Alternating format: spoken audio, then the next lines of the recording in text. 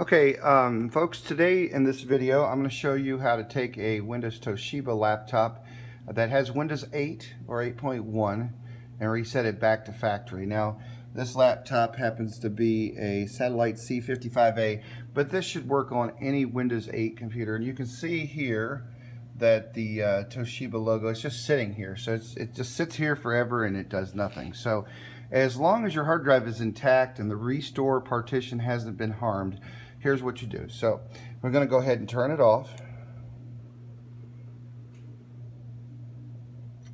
Okay, so you're going to hold down the zero key, okay, and then we're going to turn on the laptop, okay, and just keep holding on to the zero key, and then it's going to give you this message.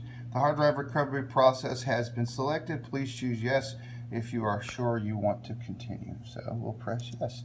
And then it's going to, see me in the background there? Give it just a minute.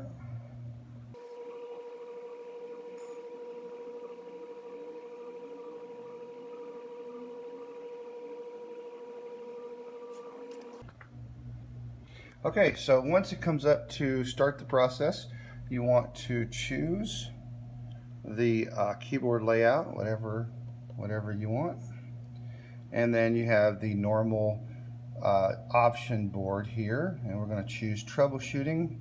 And we're going to say you can try to reset the PC or refresh. Reset means you're going to erase everything and start over from new. And refresh means you're going to try to reinstall the operating system and keep all your stuff.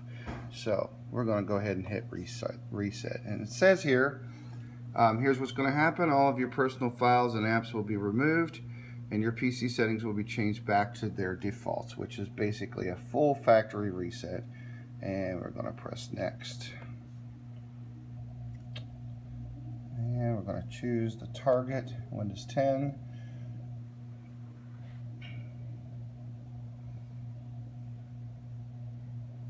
So that's basically it. You choose your operating system and it should reset the PC. We'll come back after it's uh, finished and we'll see what happens, okay?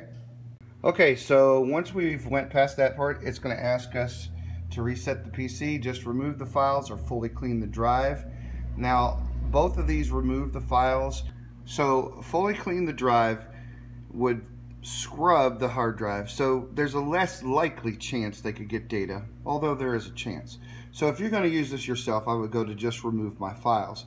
If you're going to sell it to someone, I would do fully clean the drive. So on a time frame, the fully clean the drive takes probably an hour longer because it takes longer to clean the hard drive. So we're going to we're going to, for our purposes, just remove my files.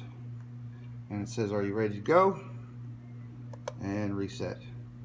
Now at this point, you're pretty much cooked if you didn't mean to do it. At 1%, it starts formatting the drive. Okay, so at this point, it's just a waiting game, and we're going to come back after it's done its reset, okay?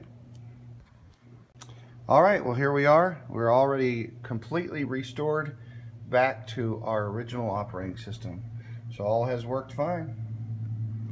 There you go. I hope this has been a help to you. If it has, please give a thumbs up and subscribe.